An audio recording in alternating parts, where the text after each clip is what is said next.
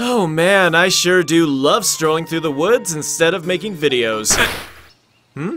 What's this? Looks like I'm going to Anime Expo. That's right. If you wanted the chance to meet a small 1 foot 8 lizard, come see me at Anime Expo from July 1st to the 4th. I'll be walking around the Los Angeles Convention Center looking at anime figures,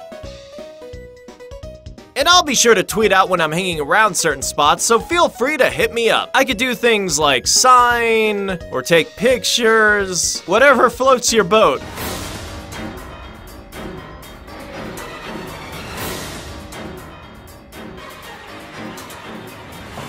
Peace.